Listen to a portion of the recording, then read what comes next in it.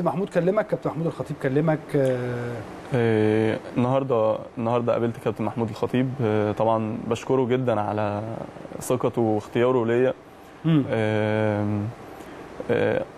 دعمني وكان موجود يعني من ورا كابتن من ورا كابتن أمير توفيق وقبل كده من ورا كابتن محمد فضل.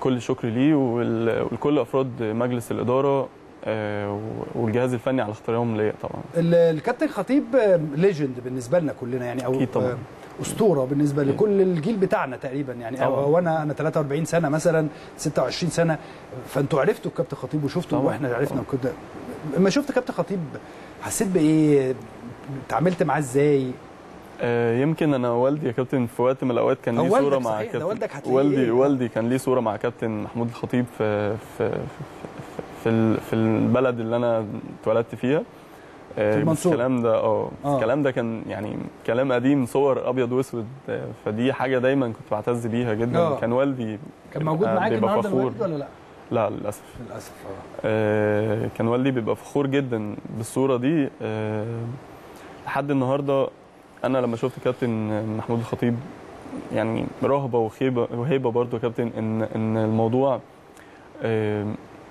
أنت بتتعامل مع شخص آه، رمز في أفريقيا مش رمز على مستوى بلد مش رمز على مستوى هو رمز على مستوى قارة كاملة مم.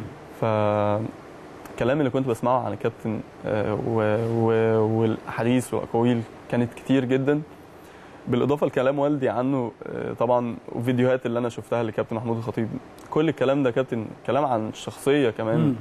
آه، كلام يا كابتن يخلي عند أي حد بيتعامل مع كابتن محمود الخطيب أو بيشوفه لأول مرة يبقى عنده يحس إن هو بيتعامل مع حد شخص ليه هيبة فطبعا ليا الشرف إن أنا آه، قابلته واتعاملت معاه وليا الشرف أكتر إن هو كان واثق فيا وفضل اختياري تمام.